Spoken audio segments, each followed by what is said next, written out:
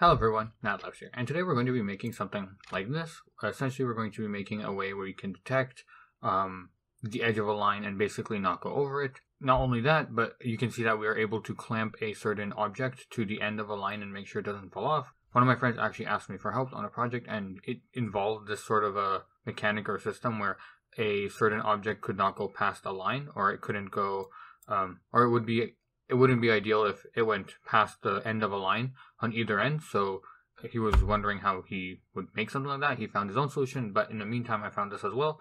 And uh, let's get right into making this. Um, essentially, what I'm going to be going over is the theoretical aspect of this and what we would have to do, like what do these numbers even mean.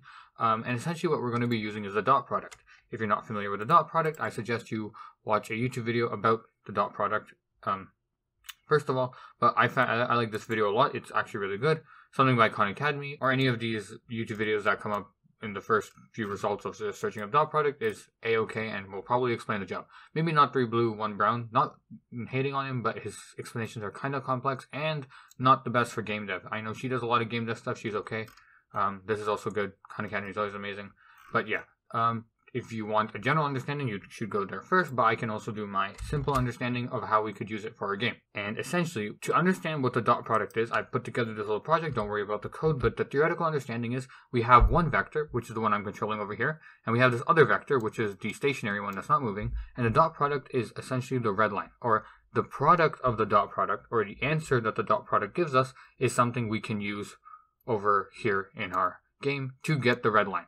Essentially, the dot product gets us this number. As you can see here, um, if I just interactively bring it closer to zero, or um, if I bring it close to the center, uh, you can see that it becomes zero. And if I go bring it up, it's still like it's it's a still a small number compared to like hundreds of thousands.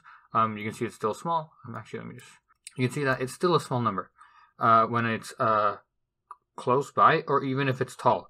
You can see that the angle matters. Um, and in fact, the dot product can be used to calculate angles, but we're not using it for angles. We're just trying to figure out how far along is this vector. So essentially, a good way to phrase it is if you took this vector that's moving and you're able to figure out how, if you're able to like impose it onto this stationary vector, how like what percentage or what like per, yeah, percentage is a good way to think about it. What percentage of the line does it fall on? Like if a shadow was, if there was a shadow, a good way to think about it is a good way to think about it is if this if there was a sun if there was um if there was some sort of like sunlight uh some sun over here or some sort of light source and it was casting a shadow on everything below where would the shadow of this vector fall? Like directly overhead where would the shadow fall? That's kind of what the dot product gives us.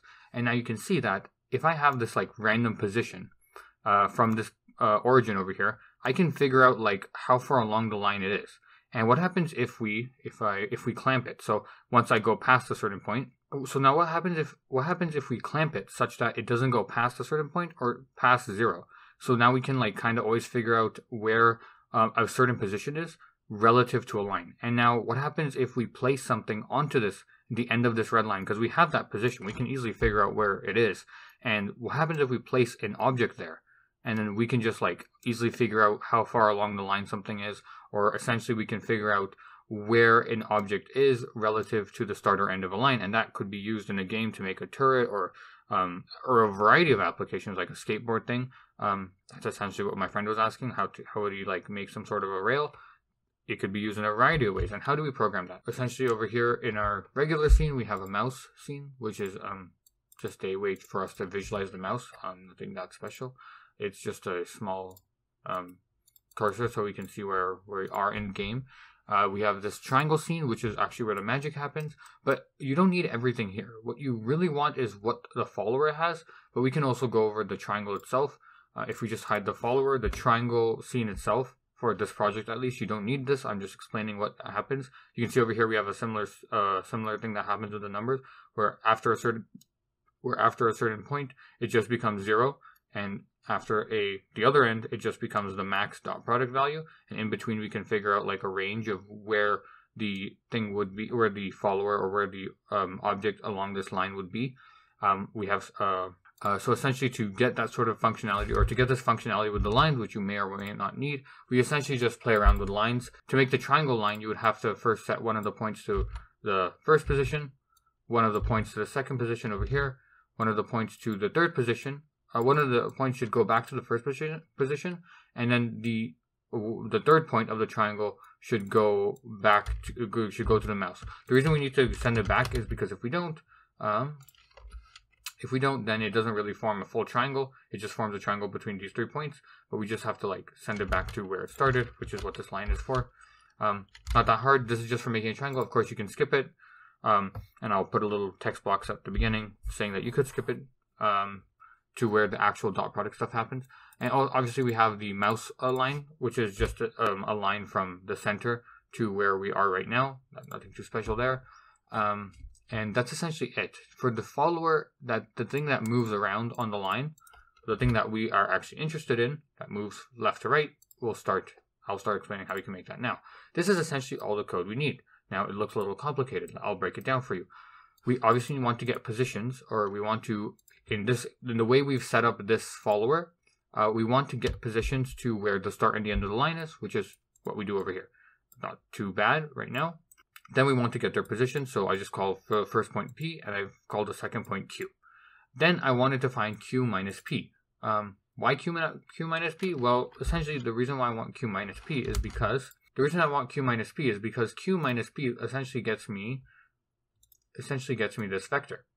I want to calculate that vector, and I want to store it in a way that I can access it later. And then, and then after I calculate Q minus P, I want to find the max dot product. What's the max dot product? Well, the max dot product is actually just taking um, is actually just taking this line and then finding the dot product of the line that is exactly the same to it.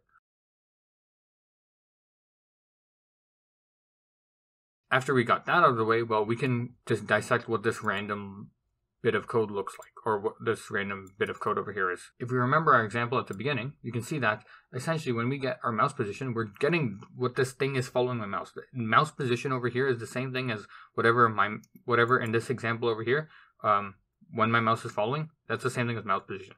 And we're going to find the q the q minus p. So this is q minus p, right? Let's just say if we're taking this code and like using a live example, we can see q minus p dot, dot the mouse position which is essentially coming from over here as well. As you can see, p minus get, actually, let me draw this.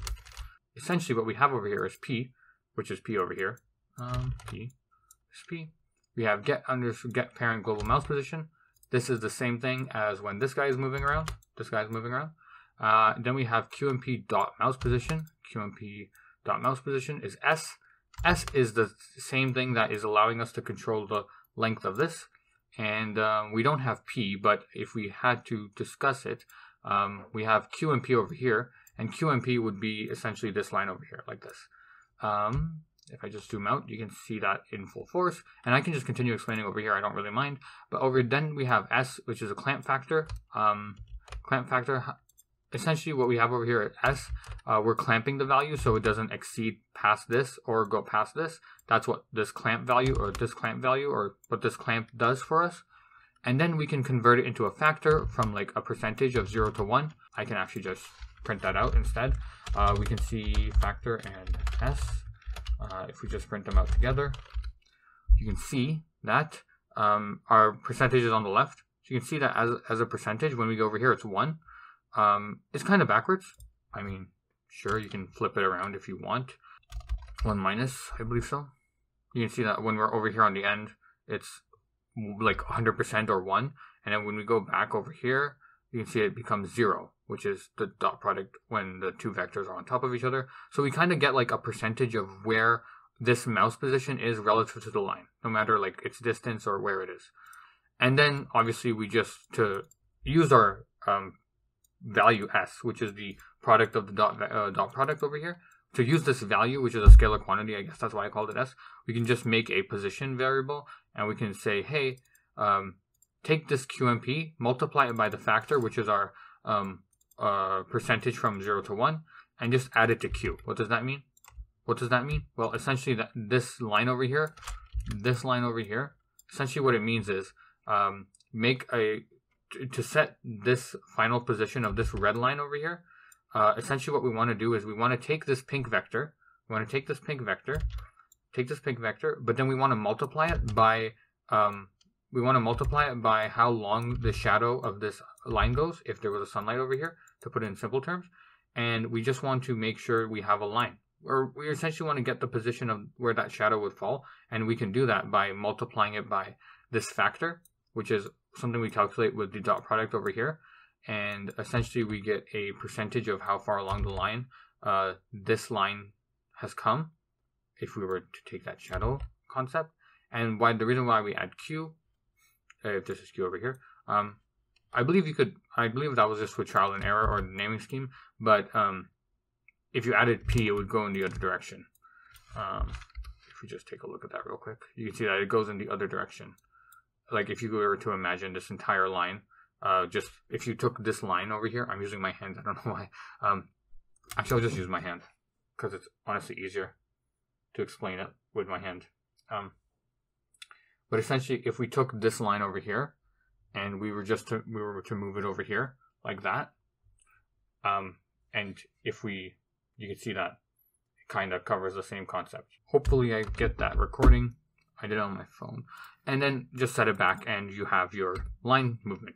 Of course, I don't expect this video to be much practical use to anyone except for maybe a theoretical understanding of how, um, or except on a theoretical level understanding of how this works and when you bring it all together, of course, I'll have the project code in the description so you can play around with it, which I think is the best way to understand all of this stuff. But once we have all of that stuff down, and let me just grab these triangles. Um, okay. Uh. We can have some fun in, in the sense that we have our ability to track the position of certain objects in a in, in our world across a line. That's all there is to this tutorial. Thank you so much for watching. Have an amazing day.